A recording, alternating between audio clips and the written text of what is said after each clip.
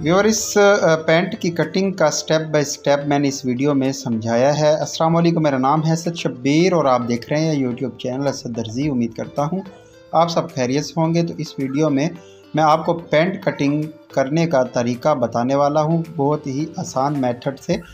आप जो है शुरू से एंड तक वीडियो देखिएगा, स्किप मत कीजिएगा। तो पेंट काटने के लिए हमारे पास इंची टेप शेप पट्टी और चाक की ज़रूरत होती है। इन तीन चीज़ों से हम अपनी पेंट को काट सकते हैं। तो ये जो पेंट है, ये है स्मॉल साइज़ मीडियम साइज़ की तरफ़ जाता हुआ नाप है। मतलब 20 इंच अगर आपकी हिप है 20 21 शर्ट की तो आप जो है सेम इसी तरीके से काट कर बनाएँ। बिल्कुल ही सेट आएगी। अच्छा सबसे पहले जो है, ऊपर ये फालतू जो कपड़ा है, इसको मैं काट कर सीधा कर लेता हूँ। तो मैंने जो है आगे के जो दो पल्ले हैं, उनको छोटा रखा है। पीछे जो है दो ढाई इंच मैंने बड़ा रखा है। तो आपने जब भी पैंट काटनी है, आपने सेम इसी तरीके से ही रखना है। अब सबसे पहले जो है, पहले निशान से हमने दो इंच पर निशान लगाना है। ये जो है हमारा बेल्ट आएगा। बेल्ट आएगा ऊपर और उसके बाद जो है हमने साढ़े दस इंच पर दूसरा निशान लगाना है। ये स्मॉल साइज़ की पेंट है। तो इसका आप ख्याल रखिएगा। इसका हम साढ़े दस इंच पर निशान लगाएँगे। अगर आपकी मीडियम होगी तो उसका साढ़े ग्यारह पे, अगर लार्ज होगी तो बारह पे। इस चीज़ का भी आप जो है ख्याल रखिएगा। उसके बाद आप अपनी लेंथ का निशान लगाएँगे। तो जैसा कि मेरी लेंथ एंड पे आ रही है तो मैं एंड पे ही निशान लगाऊँगा। तो ये जो हमारी थाई का निशान है, इसको जो है मैं पूरा लगा लेता हूँ। उसके बाद जो है हमने नीचे जो है मुझे एक्स्ट्रा कपड़ा यूज़ करना पड़ेगा। आप जो है इसी में काट सकते हैं अगर आपके पास एक्स्ट्रा कपड़ा है तो।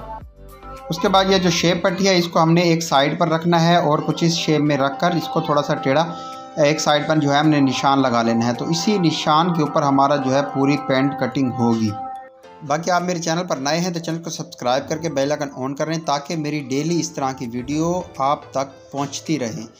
अच्छा इसकी जो है हिप है, वो है 20 इंच, इसकी जो शर्ट की हिप है तो हमने इसकी पैंट जो है 20 इंच पे तैयार करनी है तो मतलब हाफ़ होता है 10 इंच तो हमने ये 9 इंच पर निशान लगाना है एक इंच कम, क्योंकि ये फ्रंट का पल्ला है, लूजिंग जो होगी वो बैक के पल्ले में हम देंगे। उसके बाद थाई जो है वो डेढ़ इंच बड़ी रखनी है।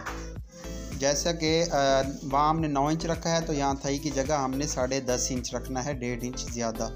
उसके बाद उसका सेंटर करके निशान लगाएँगे तो सवा पाँच इंच पर हमने दूसरा निशान लगा लेना है। तो ये उन दोनों निशानों का सेंटर होगा तो सेंटर से फिर हम जब साइड नापेंगे तो आठ इंच आ रही है तो सेम वही आठ इंच हमने नीचे निशान लगा लेना है सेंटर का।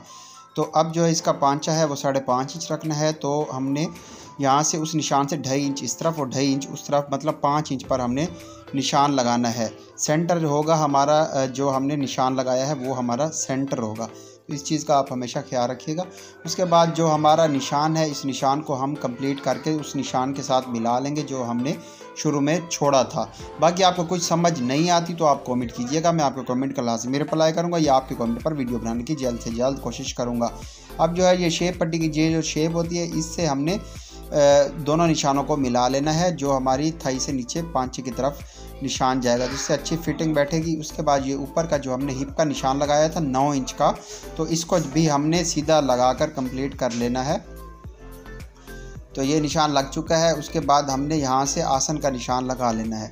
तो ये हमारा फ्रंट का पल्ला जो है, पूरा निशान वगैरह लग कर ये तैयार हो चुका है।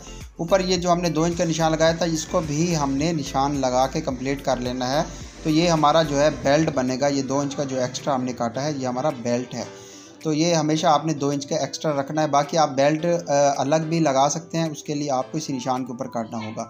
तो अब जो है यहाँ से आधा इंच का फासला रखा है और नीचे जो है हमने डेढ़ डेढ़ इंच के फासले पर सवा सवा इंच के फासले पर हम अपनी पूरी पैंट जो है वो काट लेंगे। बाकी आप अपने हिसाब से दबाव रख लीजिएगा लूज़ टाइट करने में बाद में मसला ना हो।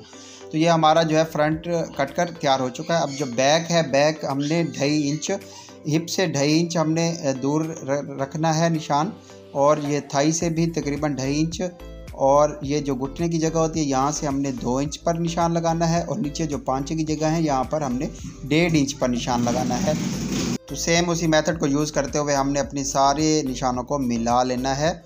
तो इसी पट्टी की शेप से हमने ये घुटने से थाई तक और फिर घुटने से नीचे पाँचे तक तो। ये निशान लग चुका है और ऊपर का भी हमने निशान लगा लेना है। तो ये हमारे जी सब निशान कंप्लीट हो चुके हैं। आसन का भी हम सेम उसी तरीके से घुमा लेंगे। तो ये हमारी बैक भी पूरी फिक्स हमारी कट चुकी है। तो इसकी हिप जो है वो बीस इंच तैयार आएगी, इसकी थई जो है वो बारह इंच तैयार आएगी और इसके जो नीचे पाँच है वो साढ़े पाँच इंच बिल्कुल ओके तैयार आएगा। तो सेम जो है हमारी पूरी पैंट जो है जैसे हमने फ्रंट काटा था, उसी तरीके से हमने अपना बैक भी काट लिया है। और जो बैक का हमने ऊपर एक्स्ट्रा रखा था, उसको भी हमने तकरीबन ढाई इंच का निशान लगाना है। बैक इसकी थोड़ी सी बड़ी हुई, बड़ी बढ़ती काटेंगे हम। और इसी शेप पट्टी का निशान लगाना है साइड नीचे। और ये देखें, आसन की साइड जो है, वो ऊपर होगी। और इसी निशान पर जो है हमने कटिंग कर लेनी है। तो ये जो है हमारी फाइनल जो है वो पेंट कट कर तैयार हो चुकी है। और इसकी जो साइड है, उसको भी हमने सवा इंच दूर जो है काट लेना है। बाकी आप डेढ़ इंच, दो इंच जितना काटना चाहें काट सकते हैं। बाकी कुछ समझ ना आए तो आप कमेंट कीजिएगा। मैं आपको कमेंट का लाजमी रिप्लाई करूँगा या आपके कमेंट पर वीडियो बनाने की जल्द से जल्द कोशिश करूँगा। तो अगर आपको मेरा समझाने का तरीका अच्छा लगता है तो एक प्यारा सा कमेंट लाजमी किया करें। तो हम जो है इसका आसन जो है स्मॉल से स्मॉल का साढ़े ग्यारह और मीडियम का होगा तो फिर साढ़े बारह और लार्ज होगा तो तकरीबन साढ़े तेरह से चौदह इंच तक का आसन होना चाहिए। उम्मीद है आज की वीडियो आपको पसंद आई होगी तो वीडियो को लाइक कीजिएगा, चैनल को सब्सक्राइब कीजिएगा। मिलते हैं एक नई वीडियो में, तब तक के लिए अल्लाह हाफिज़।